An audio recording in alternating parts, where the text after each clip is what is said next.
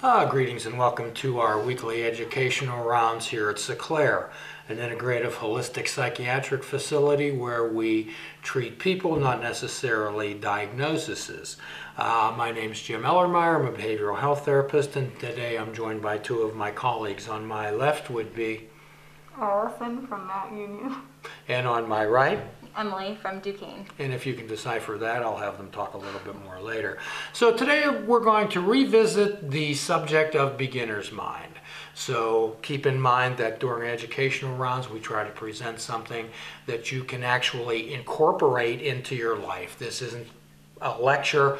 We're hoping that you can add some creativity, some joy in your life, some health and wellness. Don't consider this a cure, consider it an enhancement. What we do is we offer possibilities. So, have you ever seen a uh, horse race? Has anyone out there ever seen a thoroughbred horse race? Perhaps you have. And what what what do, what are these? These are big, magnificent animals. They can do one thing and they can do it very well. They can run. They can run in a straight line. They can run in a straight line. However, when we look at these animals, when we look at these magnificent beasts, these thoroughbreds, what do they have on their eyes? What do they have on their eyes, around their eyes? They have blinders on. And sometimes when we walk through life, we walk through our life with blinders on too. So what we're doing is we're going to open up possibilities today. Uh, in the beginner's mind, there are many possibilities. However, in the experts, there are few.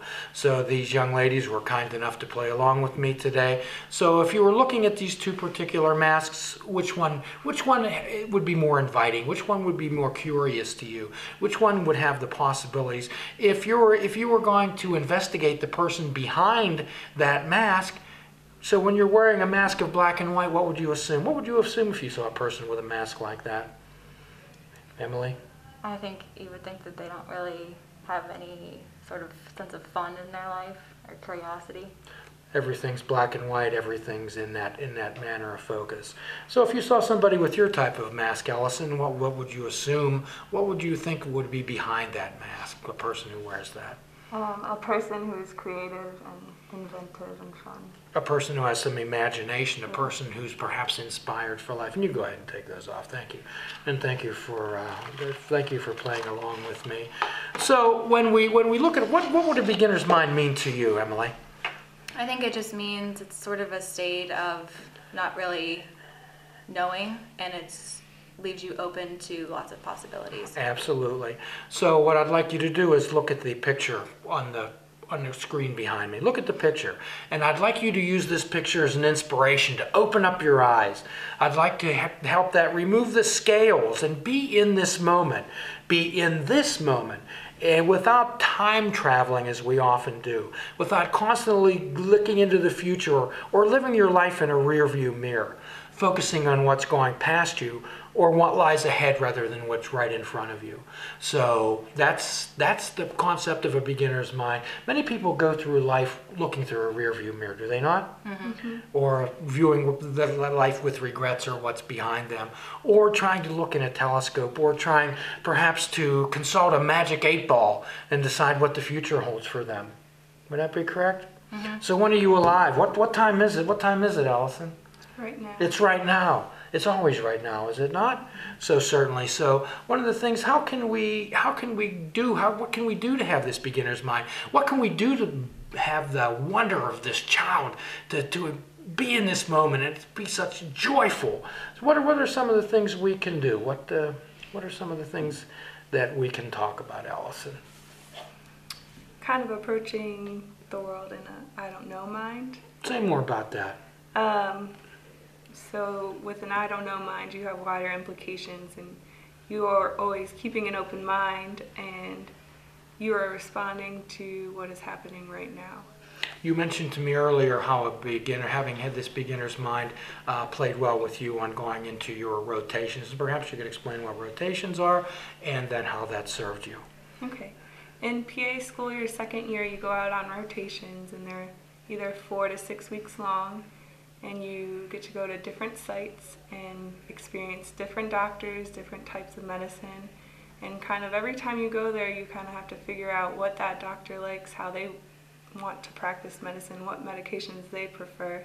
You kind of have to keep an open mind because what one person might think is the way to do it, steps one, two, three, might be different to the next person. So the I don't know mind.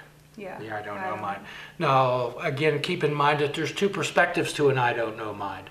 An I don't know mind mean I don't care, or an I don't know mind means I'm open to possibilities. I don't know, however, what is behind that door.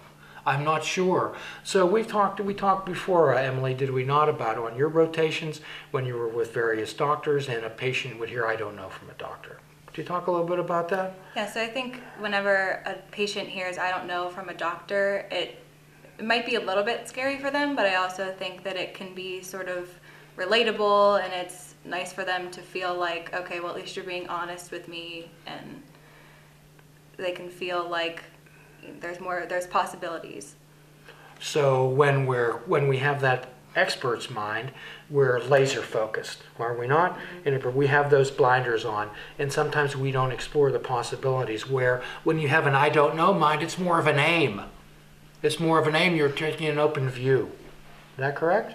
Now, one of the things we often sabotage our lives, do we not? From having a beginner's mind, don't we, Emily? And some of the things that what we do is we we do this to ourselves. And how do so? How do we do that sometimes? You, with this one? Mm-hmm. So I think in life you should live without shoulds, which basically just kind of means that you shouldn't go through life saying I should do this, I have to do this, because it kind of puts blinders on and it doesn't allow you to have those possibilities and have more choices. So when you give the shoulds, you give the must, you give the I need tos, I have tos. Does that give you any choices? No, it just puts limits on everything. It puts it keeps you in one focus, does it not? Mm-hmm. So what happens is that takes away all choices, does it not, Allison? Yes, it does. Do you have any choices? Uh, So when you when you walk into a when you walk into a rotation and before you walk in there and you say I have to do well, Mhm. how does that what does that mean? What is that for you? Puts a lot of pressure on you. It puts absolutely a lot of pressure. And we talked we talked a little bit earlier about times in your life when you have put up definite expectations. Have we not? Okay. And so how did some of those work out? I think just going through PA school always it puts a lot of pressure on you and you're constantly stressed out, but in the end you end up succeeding. Well, you can, yes. And, mm-hmm. and remember, what we're talking about here is living a lifetime without definitive expectations. Sometimes, most people, and I want you to, to hear the words I say, is when you wake up in the morning, sometimes you'll, you'll ruin your whole day even before you get out of bed. Be thinking of the things that you have to do, or thinking of the things that could go wrong. How many, have you ever woken up in the morning and said, what, what a wonderful day? What possibilities, what would possibly happen today? You know, because you're always thinking about everything you have to mm-hmm. do. Do you ever wake up in the morning and think of today as an adventure? I really don't think I've done that since I was a child. Yes. So what? Ha- how? What? When do we lose that, Allison? When do we? When do we lose that wonder and joy of a child like this child back in front of us that is gazing in absolute wonder at this? I think whenever you start to understand more of the complexities of life, then you get overwhelmed with that and mm-hmm. you stop living with that beginner's mind. Right, and you and then you put those blinders on, do you not? Mm-hmm. And then what you're failing to do is have emotional sobriety. And emotional sobriety is having that self-esteem and self-concept and identity formation and not allowing people, places, things, circumstances to and events to determine your own self-worth. Judging yourself against those, is it not? Mm-hmm. It, it's so hard to have to live without expectations, isn't it? Mm-hmm. mm-hmm. So, are you trying your best? I'm trying. my When you when you came in here this morning, did you wake up and think, "Gee, I wondered what we were going to do today. I wondered what Jim was going to talk about. I wondered what Jim was thinking." Of course. not. No, I I was wouldn't thinking think. about driving. You have to- right, right. So, what I'd like everyone out there is to begin to experience their life like you're looking at the life through the eyes of a child.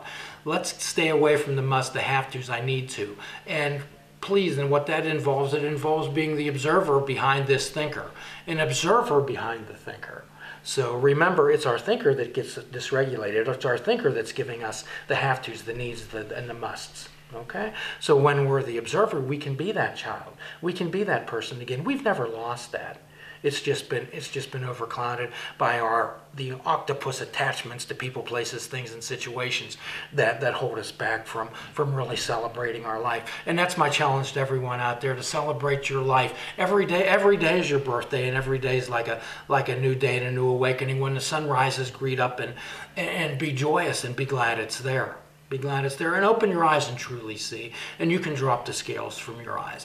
And I'm hoping that everyone out there will take a little bit of advantage about what we said today. Sit back and ponder ponder the words that we said. And at the end of every podcast, what we do is we give a free prescription, do we not? Yeah. Does anyone remember? Nope. Fruits, nuts, and vegetables. Unplug your television and take up fishing.